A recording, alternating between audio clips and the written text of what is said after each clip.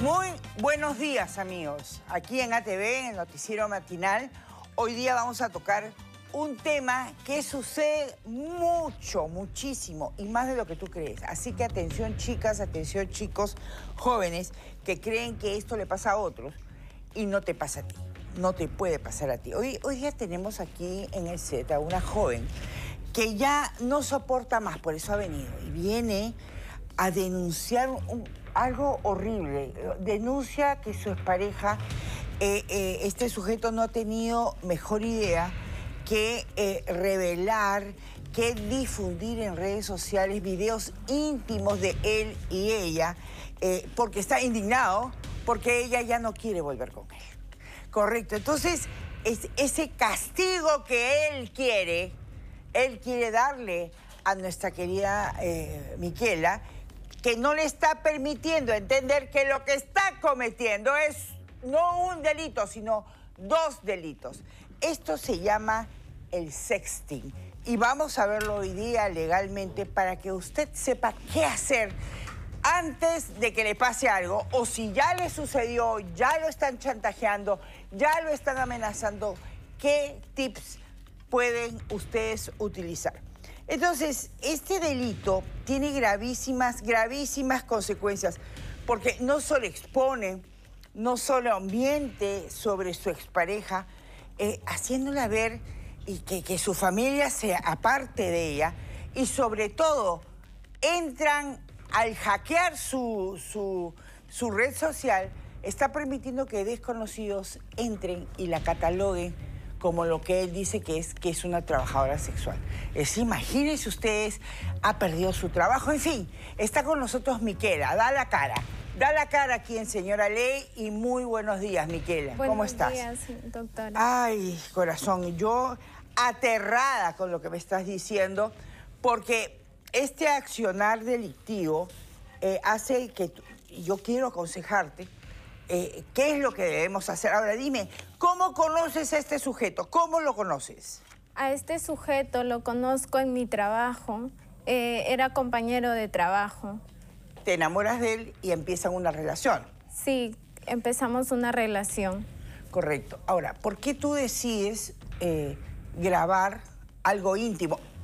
Ojo, televidente, ojo, nosotros no somos la Santa Inquisición. O sea, nosotros Vamos a protegerla a ella, no vamos a cuestionarla, pero es importante que tú me digas por qué tú decides grabar este encuentro íntimo o, aceptas. ¿Cómo fue? ¿Quién te ofreció? Eh, él ofreció que hiciéramos una videollamada durante la relación. Fue por iniciativa de él. ¿Ya? Y yo acepté, acepté, eh, porque éramos pareja porque éramos pareja y teníamos esa confianza. Correcto. ¿Tú no pensaste que aquel hombre que decía que te amaba iba a proceder como ahora? ¿Qué pasó después de esas grabaciones? Después de esas grabaciones, eh, yo desconocía de que él tenía pantallazos de la videollamada. Ah. Al terminar la relación, él me las envió. Em, amenazándome de que iba a conseguir el número de mi mamá y se las iba a enviar. ¿A tu mami? Sí. ¿Qué hiciste? Yo desesperada em, traté de comunicarme con mi familia, con mi mamá. Eh, cuando me enteré de que las imágenes ya estaban circulando mediante las redes sociales. Claro, eran, eran, eran eh, eh, fotos donde íntimas. ¿Cómo puede ser que este delincuente haya hecho eso a quien supuestamente amaba y quería. Esto puede pasar, por eso estamos aquí con Miquela. Miquela, porque tú no estás sola, ¿correcto? Tú no estás sola en este asunto. Ahora, ¿qué te han dicho las autoridades? Me han dicho que mi caso va a seguir con, su, con su curso, de que la denuncia va a seguir con el proceso legal. Eh, ese hombre está obsesionado contigo, ¿no es cierto? Sí, ese hombre está totalmente obsesionado conmigo para hacerme semejante daño, ¿no? ¿Tienes miedo? Tengo miedo, doctora, tengo ¿De qué tienes miedo, amor? No sé si pudiera ir acercándome, ¿puedo acercarme? ¿De qué tienes miedo? tengo miedo de que me pueda pasar algo. Yo no, yo no soy libre de salir por las calles, caminar. Eh, quizás otro demente vio mi foto, trate de atentar contra mi vida. Todo esto es una pesadilla lo que estoy viviendo. Yo quiero que sepan una cosa, esta niña está sometida a llamadas de desconocidos, porque este miserable está poniendo como si fuera ella que cobra 30 soles por encuentros íntimos. Entonces esto es una infamia. Yo pido a la Policía Nacional, pido al Ministerio Público que esto realmente en defensa de todas las adolescentes, en defensa de todas las chicas jóvenes y chicos jóvenes también, tengan una solución. Tú tienes, sí, tú tienes eh, miedo a que, eh, a tu futuro. Ella tiene, lógicamente tiene miedo al futuro porque dice, ¿y ahora qué va a ser de mí?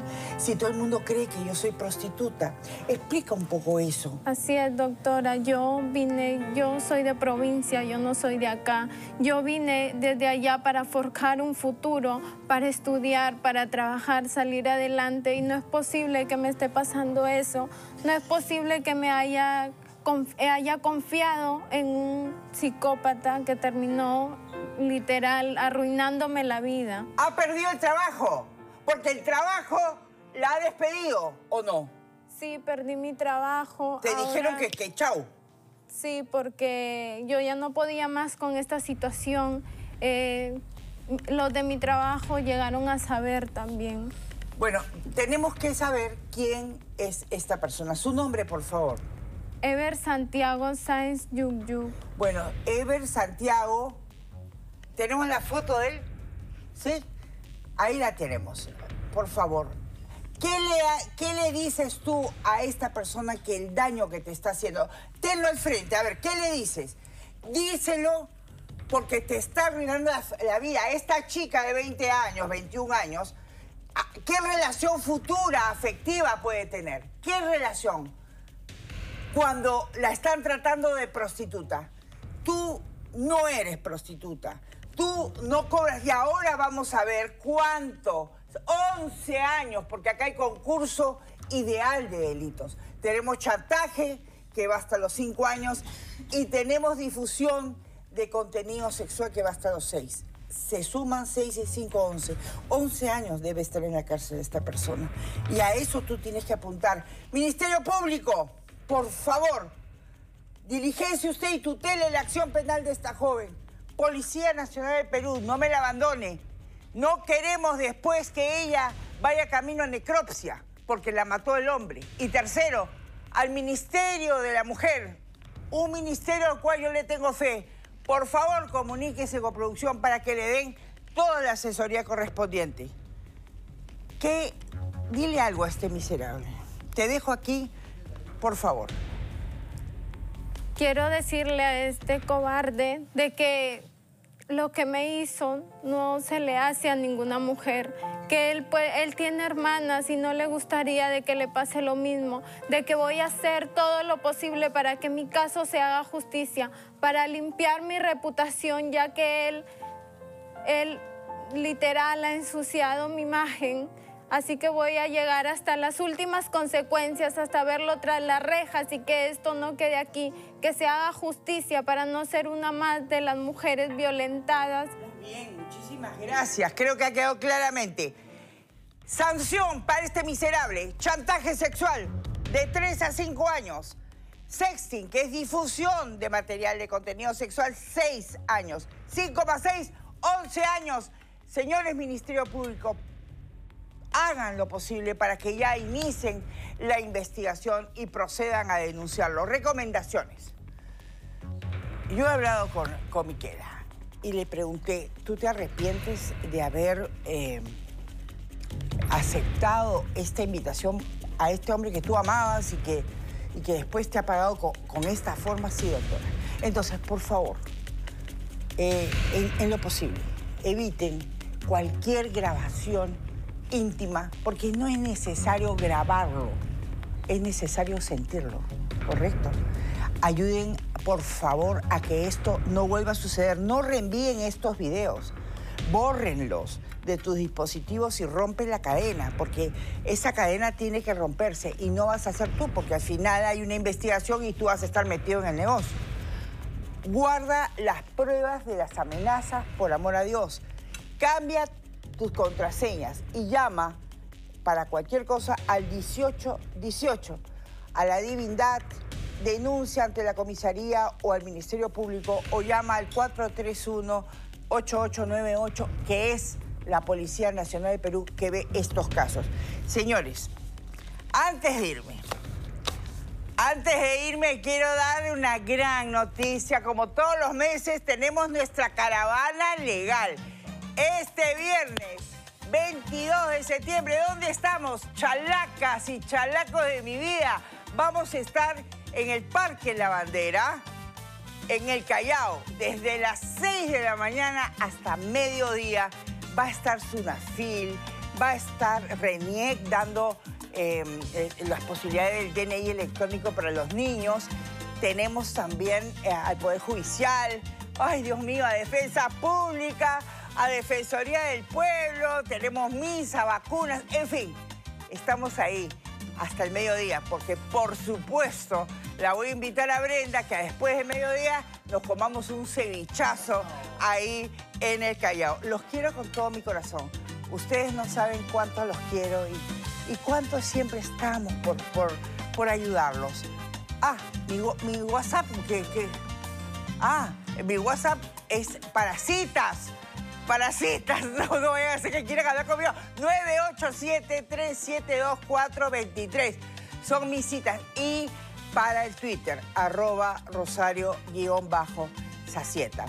El viernes estamos en la caravana legal. Una dulzura. Vamos a estar seis horas hasta que realmente el último usuario. Y si no eres de, del Callao, también puedes venir de, no sé, de donde quieras Allí hay profesionales a tu servicio. Los quiero con todo mi corazón. Chao, nos vemos.